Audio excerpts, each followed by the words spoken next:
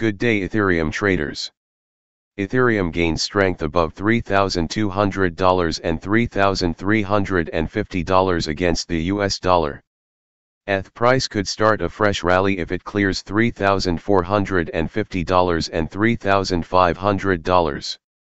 Ethereum started a steady increase after it settled above the $3,200 level. The price is now trading above $3,300 and the 100 hourly simple moving average.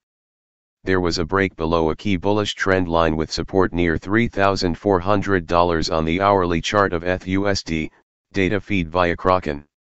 The pair could might remain supported near the $3,300 and $3,250 levels.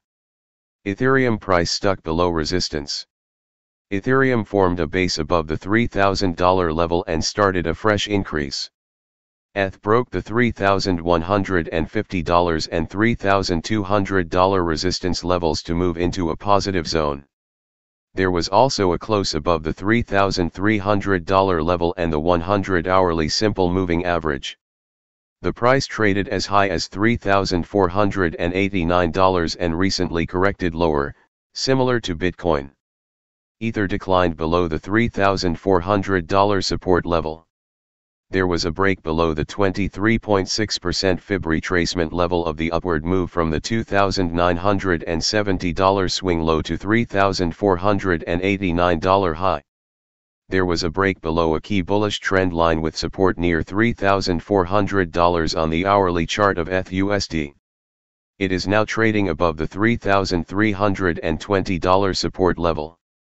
An immediate resistance on the upside is near the $3,400 level. The first major resistance is near the $3,420 level. A break above the $3,420 level could start a steady increase. The next main resistance is near the $3,500 zone, above which the price might accelerate higher. For more information contact us to cryptoservices00 at gmail.com.